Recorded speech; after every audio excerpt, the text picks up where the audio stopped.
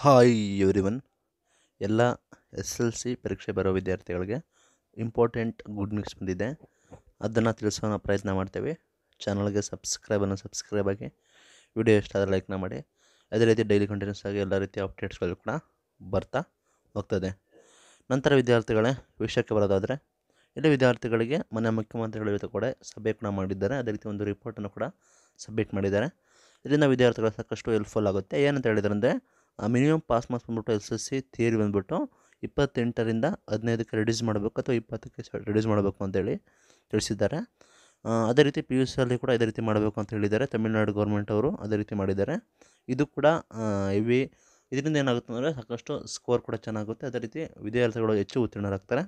ಇದೇ ರೀತಿ S L C ಮತ್ತು ಪಿ ಯು ಸಿ ಎಕ್ಸಾಮಲ್ಲೂ ಕೂಡ ನಮ್ಮ ಕರ್ನಾಟಕದಲ್ಲಿ ಜಾಸ್ತಿ ಇದೆ. ಕಂಪೇರ್ ಮಾಡಿದ್ರೆ ಅದಕ್ಕೋಸ್ಕರ ಅದನ್ನು ಕಡಿಮೆ ಮಾಡಬೇಕು ಅಂತ ಹೇಳಿ ಇಲ್ಲಿ ಚರ್ಚೆ ಕೂಡ ನಡೀತಿದೆ. ಅದರ ಅನ್ವಯ ಮುಖ್ಯಮಂತ್ರಿಗಳಿಗೆ ಕೂಡ, ಸಭೆಯನ್ನು ಕೂಡ ಮಾಡಿದ್ದಾರೆ. ಈ ವರ್ಷ ಎಸ್ ಎಲ್ ಸಿ ಪರೀಕ್ಷೆ ಬರೋ ವಿದ್ಯಾರ್ಥಿಗಳಿಗೆ ಪಾಸಿಂಗ್ ಮಾರ್ಕ್ಸ್ ಬಂದ್ಬಿಟ್ಟು ಇಪ್ಪತ್ತೆಂಟರಿಂದ ಹದಿನೈದು ಅಥವಾ ಇಪ್ಪತ್ತಕ್ಕೆ ರೆಡ್ಯೂಸ್ ಆಗುವ ಸಾಧ್ಯತೆ ಇದೆ. ಇದರಿಂದ ವಿದ್ಯಾರ್ಥಿಗಳಿಗೆ ಪಾಸ್ ಆಗೋ ವಿದ್ಯಾರ್ಥಿಗಳಿಗೆ ಜಾಸ್ತಿ ಇರುತ್ತೆ. ಮತ್ತು, ವಿದ್ಯಾರ್ಥಿಗಳಿಗೆ ಪಿ ಯು ಸಿ ಮಾಡೋರು ಕೂಡ ಜಾಸ್ತಿ ಇರ್ತಾರೆ.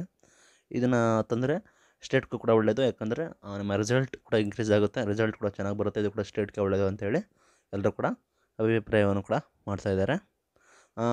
ಕಂಪೇರ್ ಮಾಡಿದ್ರೆ ನಮಗೆ ಸಿ ಬಿ ಎಸ್ ಸಿ ಅದೇ ರೀತಿ ಸ್ಟೇಟ್ ಬೋರ್ಡು ಅದೇ ರೀತಿ ಅದರ್ ಸ್ಟೇಟ್ ಬೋರ್ಡ್ಸ್ ಬೇರೆ ಬೇರೆ ಸ್ಟೇಟ್ ಬೋರ್ಡ್ ಕೂಡ ಕಂಪೇರ್ ಮಾಡಿದ್ರೆ ಇಲ್ಲಿ ಕರ್ನಾಟಕದ ಲೋ ಇದೆ. ಪಾಸಿಂಗ್ ಮಾರ್ಕ್ಸ್ ಕೂಡ ಕರ್ನಾಟಕದಲ್ಲಿ ಜಾಸ್ತಿ ಇದೆ. ಇದರಿಂದ ವಿದ್ಯಾರ್ಥಿಗಳಿಗೆ ಸಮಸ್ಯೆ ಆಗುತ್ತೆ. ಬೇರೆ ಸ್ಟೇಟನ್ನು ಕಂಪ್ಯಾರಿಸನ್ ಮಾಡಿಕೊಂಡು ತಮಿಳುನಾಡು, ಆಂಧ್ರ ಕಂಪೇರ್ ಮಾಡಿಕೊಂಡು ಈ ರೀತಿ ನಾವು ಮಾಡ್ತೀವಿ ಅಂತ ನೋಟಿಫೈ ಮಾಡಿದ್ದಾರೆ. ಆದಷ್ಟು ಬೇಗ ಮಾಡ್ತಾರೆ ಅನ್ಕೋತೀನಿ.